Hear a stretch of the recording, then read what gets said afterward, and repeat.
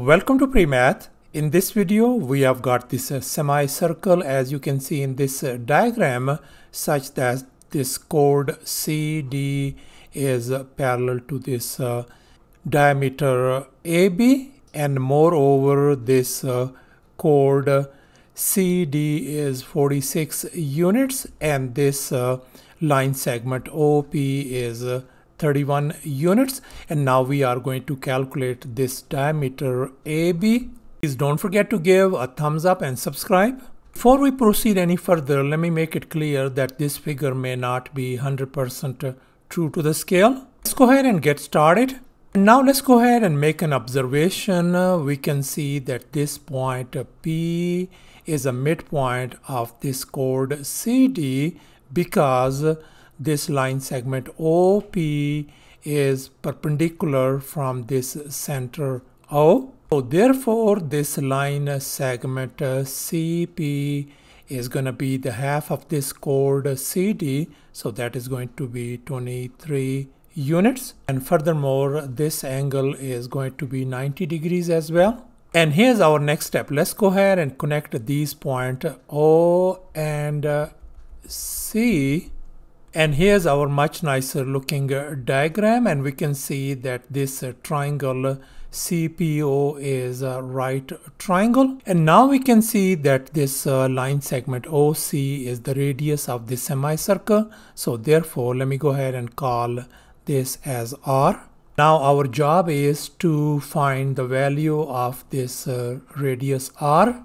Now we know that this uh, triangle uh, CPO is a right triangle. Therefore, we are going to use the Pythagorean theorem. And here's our Pythagorean theorem, a square plus b square equal to c square.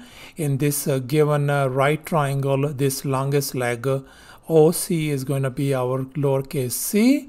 This side uh, CP I'm going to call side A and this side OP is our side B. Therefore, let's go ahead and fill in the blanks in this uh, Pythagorean formula.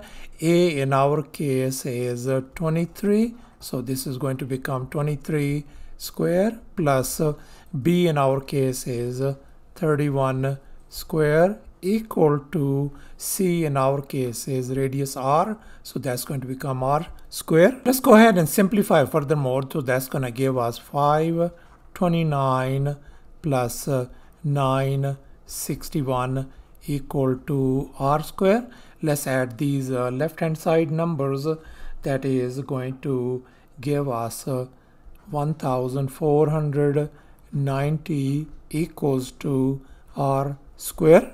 Let's go ahead and take the square root on uh, both uh, sides to undo this square and now we can see this square and square root they undo each other. So our radius r is going to be approximately equal to 38.6 units. And here's our final step. Since we are looking forward to the value of uh, this diameter AB and we know that the diameter AB is equal to 2 times the radius r so therefore our diameter AB is going to be approximately equal to 2 times 38.6 which is approximately equal to 77.2 units. So thus the diameter of this uh, semicircle turns out to be approximately equal to 77.2 units